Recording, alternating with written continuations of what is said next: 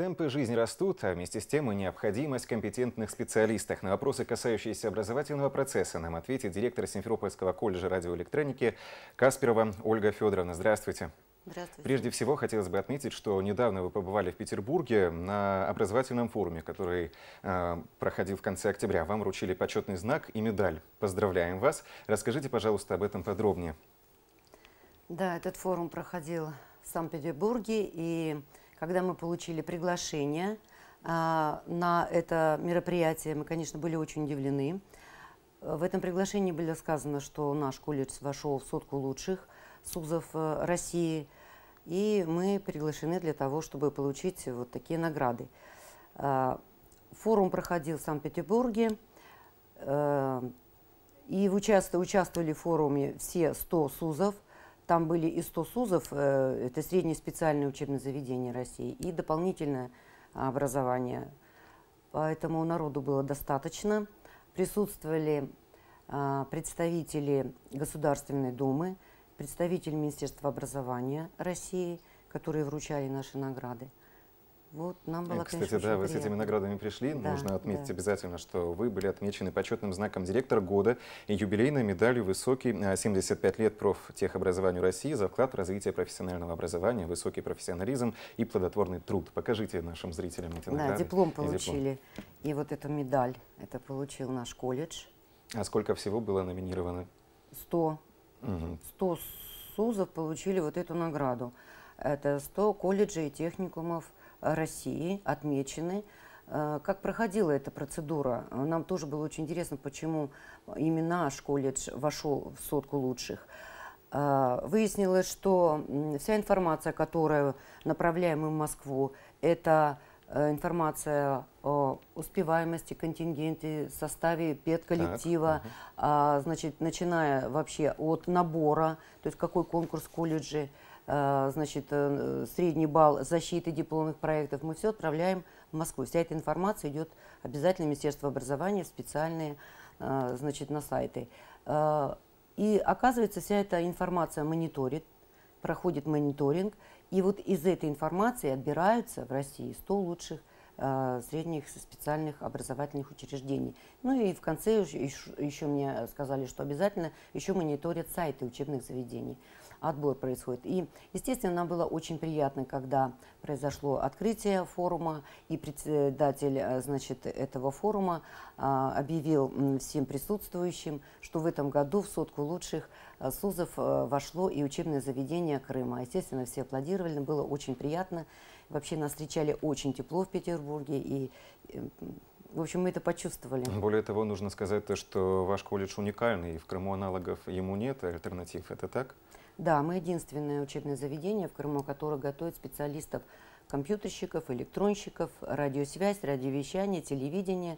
Да, поэтому естественно, что сейчас молодежь очень интересуется этими направлениями. У нас, естественно, конкурс каждый год по этим всем направлениям, специальностям.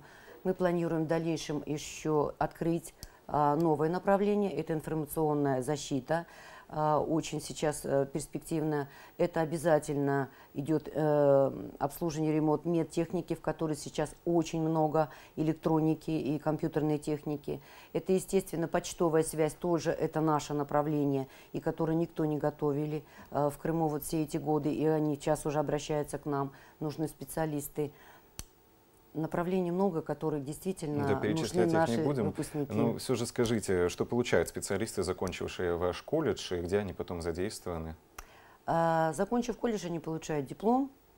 Диплом специалиста среднего звена – это техник. Угу. А, поэтому он может работать в любой фирме, организации, которая занимается ремонтом, обслуживанием техники электронной, техники радиосвязи. Это может быть и компьютерная техника – и, и, и электро, и электробытовая техника. Наверняка работает отдел трудоустройства, вы сотрудничаете с Центром занятости? Центр занятости, он не совсем э, имеет те функции сотрудничать с нами, потому что им просто даем а, каждый год отчет о том, как э, у нас трудоустроены ребята.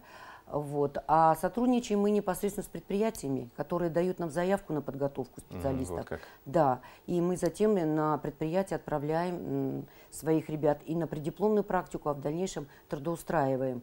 И у нас заявок в последнее время очень много, и мы даже не можем всех обеспечить. Вот да, так. это очень хорошо да, на самом деле.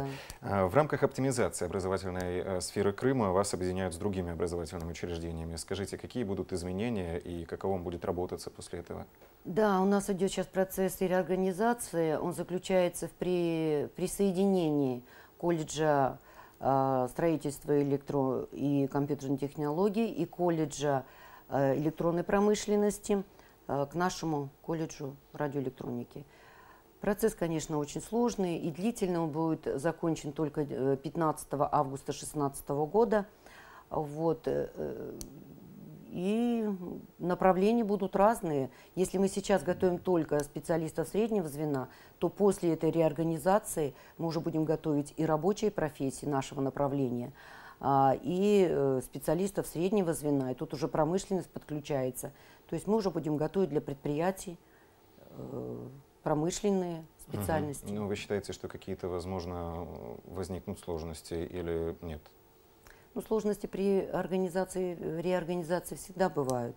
Это чисто даже штатное расписание, это сокращение штатов будет. Но это, естественно, это все закончится. Э, все равно это на, а, идет только на благо учебного заведения. Конечно. Поэтому, я думаю, все закончится ну, так и какие же задачи стоят перед коллективом и перед колледжем в недалеком будущем? Мы планируем открывать и готовить э, новые специальности, которые необходимы для Крыма и которые будем, можем готовить только мы. Мы хотим готовить очень грамотных э, специалистов, которых мы и сейчас готовим, но считаем, что будем э, обязательно это все усовершенствовать. И наш коллектив настроен именно так.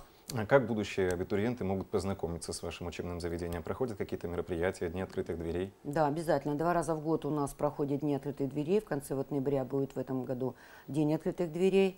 А, у нас сайт. В основном сейчас, в последнее время, мы всегда мониторим информацию, когда приходят нам абитуриенты, а, значит, из каких источников они узнали о нашем колледже. Я хочу сказать, что 80 почти процентов это сайты. Сейчас молодежь очень компьютеризированная, они все сидят на сайтах, поэтому, а, естественно, на сайте очень много информации о колледже. А, и информация э, в газетах местных обязательно мы даем, потому что очень часто небольшие города Крыма, они очень интересуются всей информацией в местных газетах.